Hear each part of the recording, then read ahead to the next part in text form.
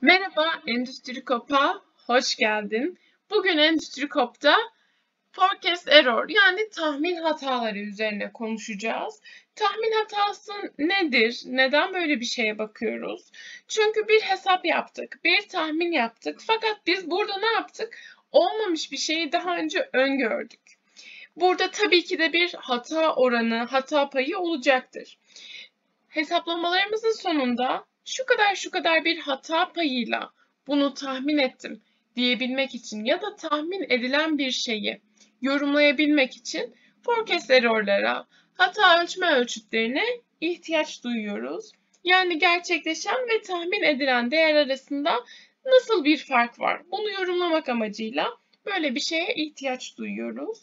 Örneğin en basitinden bu sabah fırında 130 adet simit satışı olacak tahmininde bulunsam ve gerçekte 100 simit satılsa 100 eksi 130'dan eksi 30'luk bir hatam var. Yani errorum var diyebilirim. Bu da şu demek. Ah keşke sabah ben 30 simit daha az tahmin etseydim. Bugün 100 simit satılacak deseydim. Tam tuttursaydım tahminimi diyorum. Yani ben burada aslında actual yani o dönem gerçekleşen taleple forecast'i FT'yi yani T döneminde bugün bu sabah tahmin edilen talep arasındaki farka bakıp bir hata belirtebiliyorum. E bu bir gün için bu şekildeydi ama ben tahminlemeyi birkaç periyot için yani birkaç gün için devam ediyorum ve bu tahminlerimin doğruluğu için de bir belirtece ihtiyaç duyuyorum. Burada ise forecast error'un kapısını çalıyorum.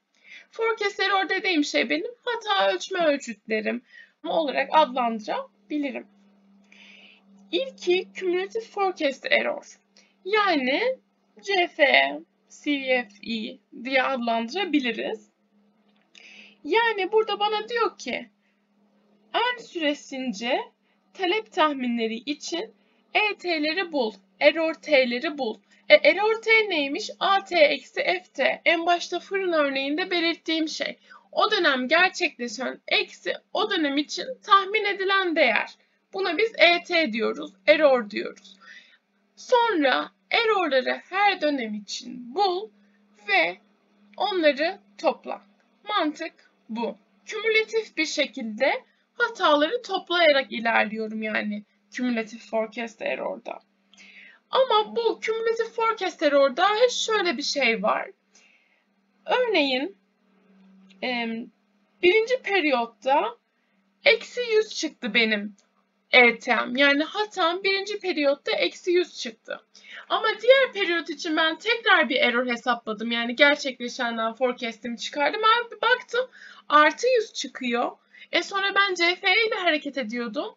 E bunları bir toplayayım dedim. Eksi 100 artı 100 e birden sıfır etti. Yani benim o ölçeğim o kadar büyük 100 kadar bir hata yapmışken 100 kadar bir sapma yapmışken sıfır hata yapmış gibi bir konuma düştü. Bu yüzden cumulative forecast error'a bakarken eğer cumulative forecast error'a bakacaksak bu şekilde dikkatli olmamız lazım. E gördük bir pozitiflik, negatiflik olayları var burada. Demek ki benim bu pozitif negatiften kurtulursam daha sağlıklı bir e, analiz yapabiliyor olacağım hatalarla ilgili. O zaman hemen bir hata ölçeği bulayım. Yeni bir hata ölçeği bulayım. E bu hata ölçeğinde ne yapayım? E, başta yaptığım pozitif negatif hatasından kurtulayım.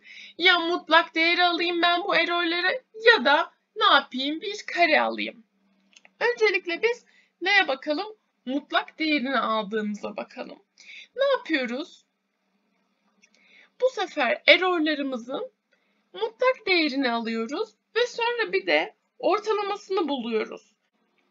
Mean Absolute Deviation bu şekilde hesaplaması olan bir ölçüt olarak karşımıza çıkıyor. Diğer bir hata ölçütümüz olan MSE'de yani Mean Squared Error'da ise hataların yani errorların karesini alarak bu pozitiflik negatif olaylarını dengelemiş ve bir analize ulaşmış oluyoruz.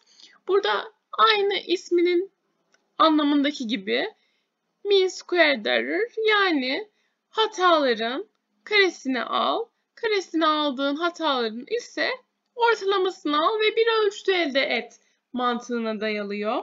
Fakat bu ölçütte karelerini aldığımız için eğer yüksek bir sapma varsa bu hata puanı olarak ceza puanı gibi yansıyor. Yani yüksek hatalara yüksek ağırlık veriyor. Bu yüzden eğer iki sistemi karşılaştırıyorsak veya birçok sistemi karşılaştırıyorsak ve yüksek hatalı olanı seçmememiz önemli ise mean square error'larına bakarak seçeceğimiz sistemi veya seçeceğimiz yönteme karar verebiliriz. Daha sonraki videoda bir tane minik bir örnek çözeceğiz ve e, CF'ye mi, MAD'ı mı tercih etmeliyim, MS'yi mi tercih etmeliyim, MAPE'yi neye göre tercih ediyorum e, bağlamında bir yorum yapacağız. Ama MS'de şimdilik büyük hatalara büyük ağırlık verip cezalandırdığını söyleyebiliriz. Diğer ve son hata ölçütümüz ise MAPE hatanın gerçekleşene göre yüzde kaçlık bir hata ile gerçekleştiğini ölçmek amacına kurulu bir ölçüt. Örneğin geçtiğimiz ay 25 hata yapmıştım ve gerçekleşen değerim 200'dü. Yani 25 bölü 200 çarpı 100'den yüzde 12,5'luk bir hata yapmıştım. Bu ay yine 25 hata yaptım ama gerçekleşenin bu sefer 100 birim oldu diyelim. Yani ikinci seferde %25'lik bir hatam var. Fakat birinci seferde de ikinci seferde de aynı miktarda yani 25 birim kadar hatam var. Yani biz eğer birim sayısı bazında değil de o ay gerçekleşene göre benim tahminim yüzde kaç hatalı bağlamında bir yorum yapmak istersek, bir yüzdelik görmek istersek hesaplamamız MAPE ölçütüyle olur. Hesaplaması şu şekildedir. O ay gerçekleşen error yani AT eksi FT'nin mutlak değeri bölü o ay gerçekleşen çarpı 100. Bu değerin yine gerçekleşen en dönem için ortalamasını alıyoruz ve MAPE ölçütümüzü elde etmiş oluyoruz. Yani eğer sorumuz gerçekleşenden yüzde kaç olarak sapmışımın merakındaysa tercihim MAPE ölçütünden yana olabilir. Yani şimdiye kadar biz dört tane hata ölçütü gördük. Tahmin hataları ölçme ölçüsü gördük. Bir tanesi cumulative forecast error, bir tanesi mean absolute deviation, diğeri mean squared error, diğeri de mean absolute percentage error olan MAPE. Bu dört ölçütten hangisini kullanmalıyım sorusu ise şu şekilde benim e, problemime uygun olarak ağırlık vermem gereken şey ne? Ben eğer yüzdelik görmek istiyorsam sonucumu o hatanın değerini değil de yüzdelik bazında görmek istiyorsam MAPE'yi tercih edebilirim. Eğer ben hatalarımı daha doğrusu büyük hatalarıma büyük ağırlık versin ve büyük hatalı olan sistemi tercih ettirmesin bana diyorsam MS yani mean squared error'ı kullanabilirim. Ama ben hiçbir şeye ağırlık vermek istemiyorum. Sadece düzgün bir e, hata ölçeği görmek istiyorum diyorsam MAD'ı kullanabilirim. Veya en basit, en düz mantık olarak e, kümülatif olarak forecast error'u hesapladığım CFE'yi kullanabilirim. Ve bunların hiçbirinde bir doğru bir yanlış yok. Yani atıyorum bu sistemde kesinlikle MAD'ı kullanmam gerekiyor. Kesinlikle MS'yi kullanmam gerekiyor. MAPE'yi kullanıyor kullanmam gerekiyor gibi bir yorum değil. Problemime uygun bir şekilde analiz ve yorum yapabiliyorum. Bir sonraki videoda hem bu taret tahmin ölçeklerinin nasıl yorumlanabileceğini hem de Excel üzerinden nasıl hesaplanabileceğini görüyor olacağız.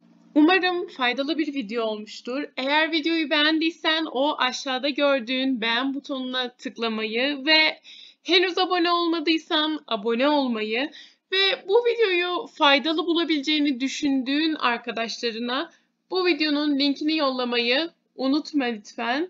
Bir sonraki videoda görüşmek üzere.